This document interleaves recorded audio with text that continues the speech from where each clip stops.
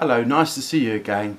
I'm the Reverend Howard Schnaar, the Vicar of Christ the Lord Church, Broadfield.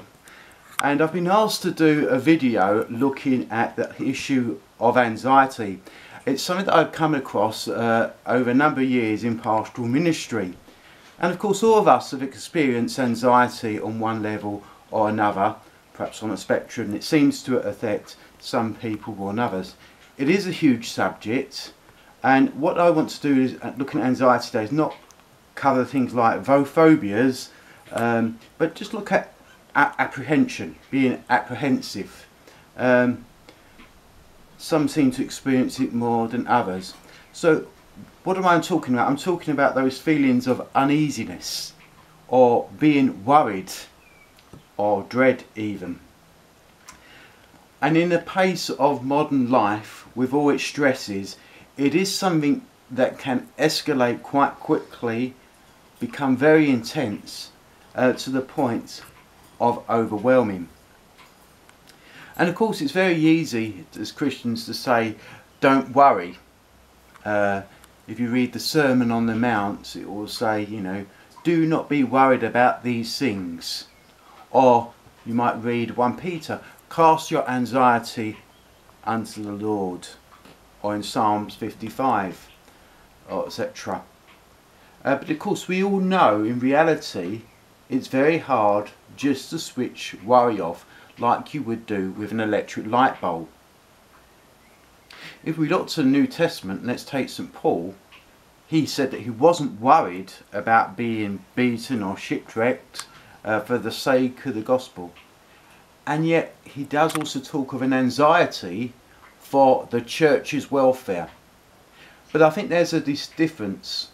One was uh, an anxiety out of worry, what could possibly happen, and the other was out of a genuine concern. And I think we could say the same for Timothy as well. He had a genuine concern, a genuine anxiety for the welfare of the church. Uh, but this was different from a worry of uh, being uh, uneasy and uh, dreading what might possibly happen. So in saying that you can't just switch worrying off like a light bulb, where can we go forward? And for me, I, look to the epistles and I want to uh, share a bit from the uh, letter to the Philippi, uh, Paul's letter to Phil the Philippi uh, church, Philippians 4. Philippians 4 is a, a well-known chapter in the Bible. Of course, originally uh, St. Paul is writing to the church there to thank them for the gift and the support that they've offered. So I'm using the New International Version Bible. So yeah, Philippians 4, which is the close of the book, the last chapter of this, this letter. Verse 4, it says, Rejoice in the Lord always. I say it again, rejoice. There is something about trying to rejoice in the Lord. You know, St. Paul was in prison at the moment, and you would have thought the church would have write a letter to, written a letter to him saying, you know, every cloud has a silver lining. But no, he says to them, rejoice in the Lord. And in case you miss it again, I'll write it again. Rejoice. It's almost like underlining it with a highlighter pen. Rejoice in the Lord. Verse 4. And then verse 5. Let your gentleness be evident to all. Let your gentleness be evident to all. The Lord is near. God isn't distant. He isn't far, as much as we might feel at times. And then verse 6.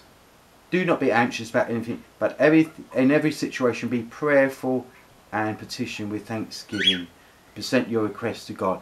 So the two words I want to pick up from this verse is being prayerful and thankful. I used to visit an old lady in a care home who always said to me, count your blessings day by day and see what the Lord can do. Uh, a song that she knew well. Uh, I even bought her the uh, Harry Secombe uh, CD with that that song on it. But there's a lot to be said for that. Count your blessings day by day and see what the Lord can do. And then I'll jump to verse 8. It says this. Finally, brothers and sisters, whatever is true, whatever is noble, whatever is right, whatever is pure, whatever is lovely, whatever is admirable, if anything is excellent or praiseworthy, think about such things. And so I think what I'd want to say as I close now really is to dwell on the positive and what the Lord can do for us. It's very easy. We might think as we go into church this morning, I might think, well, all, that, all these people that are not here and could get worried about that. And maybe there is something about having, not worrying, but having a godly concern, as we heard from Paul. But on the other hand, actually to thank God for those that are there and being challenged and comforted by God's word. So I'll just leave you with that, these little thoughts and hope they're helpful.